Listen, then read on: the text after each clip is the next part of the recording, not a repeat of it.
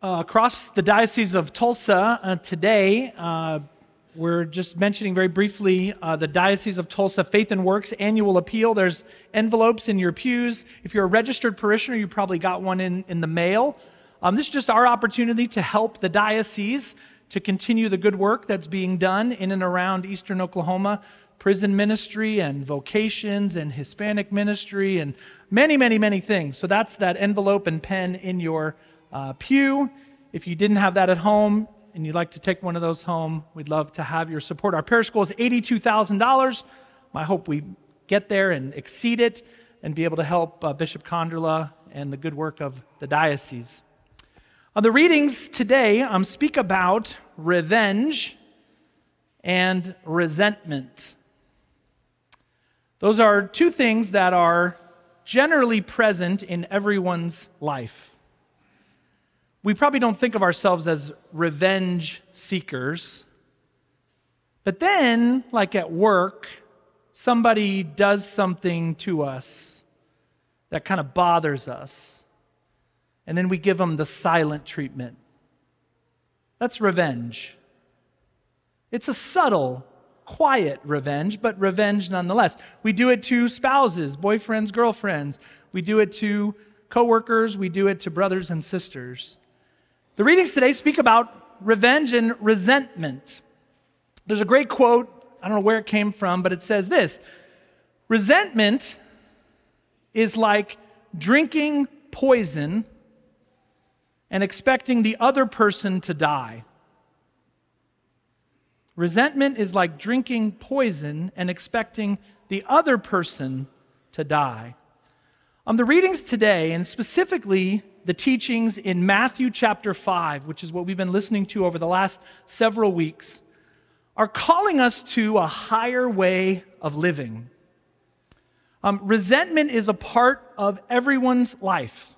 There's people that have wronged us, maybe something small, maybe something quite large.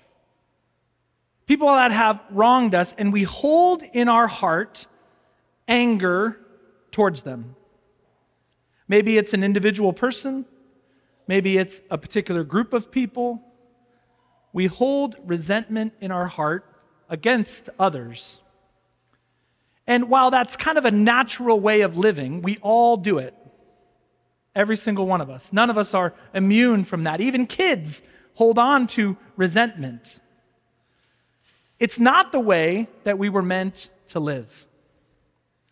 And so Jesus comes along in these beautiful words, and he says, You've heard that it was said, an eye for an eye, a tooth for a tooth. But I say to you, right? So he's saying that's the old way of looking at it, but now we're going to turn a page and we're going to do it differently. Jesus is calling us to freedom. When we walk around with resentment, we're not free. We're not as free as we could be. And so Jesus invites us into a relationship with Him. We call Him the Prince of Peace. That if we're going to have peace in our lives, it's going to come from Him. It's a peace that the world cannot give, only in Christ. I'm reminded of a beautiful, soon to be saint, I think, in our church. He was a Vietnamese bishop back in the 1970s, died in the early 2000s, Cardinal Francis Xavier Van Thuan. And he was the bishop of Saigon, Vietnam, as Vietnam fell, 1975, I think it was. Well, he had been the bishop for six days and was captured and thrown into prison. Cardinal Van Thuan lived in that prison for 13 years nine of them in solitary confinement. Can you imagine a more difficult life? Cut off from family and friends, cut off from the priesthood, cut off from everything that was important to him, put into a prison cell. Cardinal Van Thuan found some paper to write on, and he would every day write little phrases, little thoughts And he would pass them off to this little boy that would run by his cell, and they would go out, and the people were able to receive messages from him. And one of the things that Cardinal Van Thuan said during his 13 years in prison is he said, I've never been more free. I've never been more free. He's in prison. He's in solitary confinement, cut off from civilization. But what he meant was that he had such a deep faith in Christ that his faith was so strong that he did not harbor resentment against his jailers. In fact, he spent much of his 13 years ministering to the very people who put him in prison. There were conversions of the prison guards that held him. Cardinal Van Thuan had such freedom in Christ that it didn't matter where he was. It didn't matter what was happening to him. He was free. Now, I see some of you shaking your heads. I would shake my head too. It seems almost unbelievable. How could that even be possible? But it's the kind of life that the Lord Jesus is calling us to to a way of life that is free of revenge and free of resentment.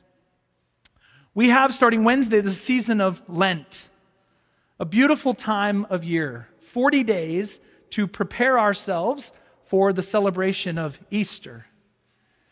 In these 40 days, the church recommends kind of three spiritual pathways to grow in our relationship with Christ prayer, fasting, and almsgiving.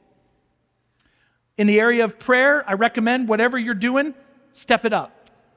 Take on more, spend more time in prayer, spend a higher quality of time in prayer. It's going to look different for each one of us in the area of almsgiving to step up our giving. It doesn't have to be money, it can be of our time, being generous to those around us. Perhaps based on today's gospel, being especially generous to our enemies, being generous to the people against whom we hold some resentment. And fasting. We so often associate fasting with food, but what if during the season of Lent, as a parish, as a family, as an individual, we fasted from being resentful against people who have harmed us. My argument would be you're going to be better. You're going to feel better. Your life is going to be better if we're not walking around with all of the resentments that we hold. For some of us, there might even be a resentment against God. Maybe we've been handed a particular set of circumstances in our life that are pretty difficult, not favorable towards us. We have this resentment God, why did you do this to me? The Lord is inviting us into a newfound freedom. It's a freedom in a relationship with Christ. It's been said that no man was more free than when Christ was on the cross. Now, look up there. He doesn't look very free. But Jesus went to the cross knowing what was happening to him. He went to the cross fully aware of the way that he was about to give of himself, fully aware of this generous way of life that he was proposing to us. So, easier said than done. I don't propose that this is just flip on a switch and suddenly all revenge and all resentment goes away. Doesn't work that way. But what I do propose, and more importantly, what Jesus proposes to us, is freedom in Christ from all of those things that hold us back from a deeper relationship with Him. Guys, it's a better way of living, free of resentment. And so we start that journey today. I'm not promising that all resentment goes away by the time your head hits the pillow tonight. I'm not promising that all that resentment goes away by the time Easter comes around April 9th. But if we start down this road, you and I are going to be more free. free of those attachments, free of those resentments, free of that revenge seeking that we sometimes do, even to those that we love the most. Jesus proposes to us a better way of life freedom in Him. And so we draw deeper into that relationship today as we receive Holy Communion, as we come into the Lord's presence. It is in Him that we are free.